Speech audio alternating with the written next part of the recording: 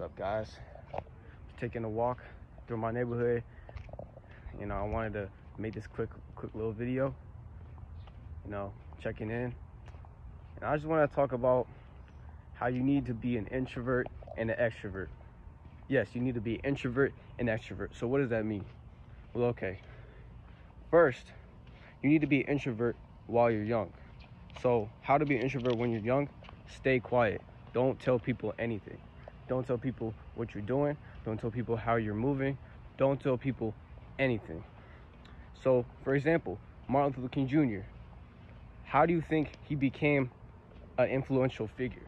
The reason Martin Luther King Jr. became an influential figure is because as a child, he didn't say anything. He did not voice his opinion for anything. So, when he didn't voice his opinion, he basically had a plan before. He had a plan before and, and said, I'm gonna change the world when I got when I get older. If he was to voice his opinion when he was young, he'd probably either get hanged or he'd probably get thrown in jail. Let's be honest. So you know what he did? He had a plan. When he was young, he had a plan. He was like, all right, when I'm when I'm older and when I know more, I'm gonna execute that plan. So that's the reason why Martin Luther King Jr. He didn't have to be president. You know, he didn't have to be president because later on he became an extrovert. He became an extrovert. He actually voiced his opinion more. So that's what I'm. That's what all I'm saying because you don't really need to be a president.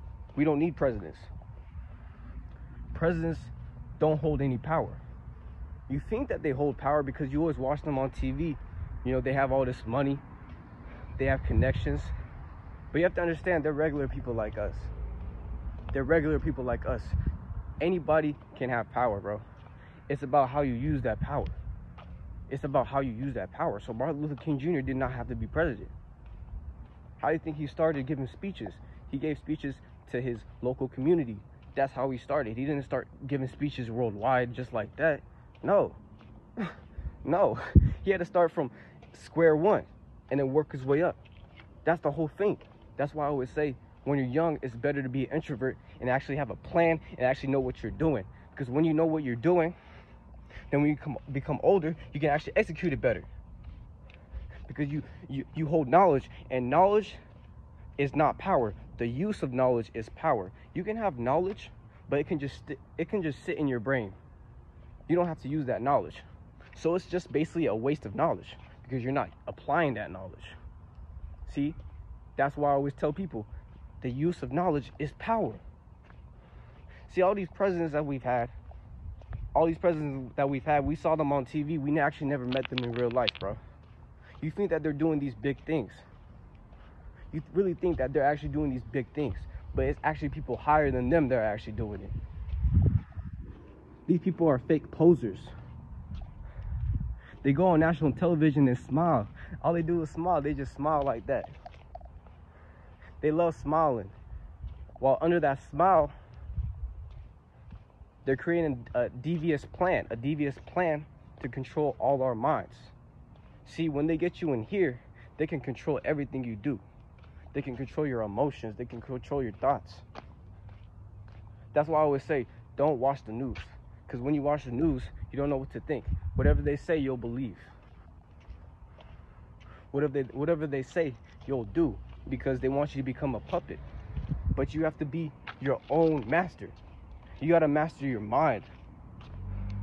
You got to detach from television. Television is fake. Television is dying, bro. This is the new age. People have evolved way past television.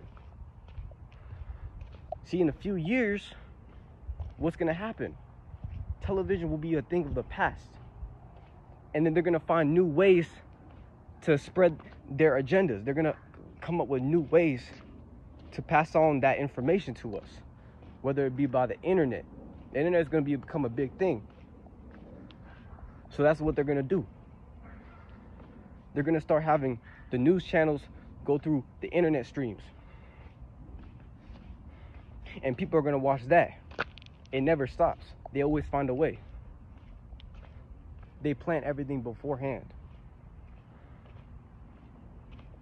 detached from everything. Only know what you want to do. Only know what you want to believe in. If you want to believe that birds or, or, or what puppets can fly, then birds and puppets can fly. If you believe a car can fly, a car can fly, bro. It doesn't matter. You can be the next person to make cars fly. You can have an invention that makes cars fly. It doesn't matter, bro. You just got to come up with that plan and execute it well. And I think recently I heard about this kid, this kid that graduated, you know, he got his bachelor's degree in genetics, and this dude's only 11 years old. This dude's only 11 years old, and he says he wants to make humans immortal. And when I was reading that, I wasn't surprised, honestly. I was surprised that he wanted to make humans immortal. Things are getting a lot crazier. Things are getting a lot crazier, bro. You have to believe, bro, believe the future is now. The future is happening now. They're little kids, 11 year old kids. When I was 11, I wasn't doing anything. When I was 11, dude, I was outside. I was literally outside. I was watching Nickelodeon. I was watching Nickelodeon. I was literally watching Nickelodeon when I was 11, and these dudes already got their bachelor degrees. I'm telling you, you gotta evolve your mind. You gotta detach from everything that doesn't matter. It's like people can't go a day without checking their Instagram feed or checking their Twitter feed. Bro, that's a problem. That's a problem. And I'm just out here. I'm detaching from everything. I don't even watch YouTube. I literally just upload my videos. I upload my videos and then I just post it and I log off. That's all I do. Because I know what this YouTube stuff does. You can't let this control your emotion. You can't let this control anything. You got to be your own master. Master this, you master everything. They can't get you. If you master this, they can't get you. See, back then, they mastered us physically. Physically, they had us enslaved. They had us as slaves. But now they don't even have to physically get you. They get you with this. Mind control.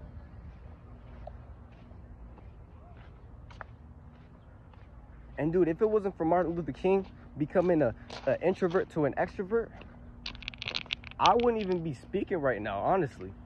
I wouldn't even be speaking. I'd still be in chains. I'd be in someone someone's plantation farm.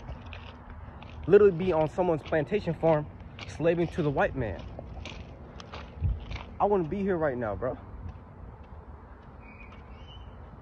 You guys understand?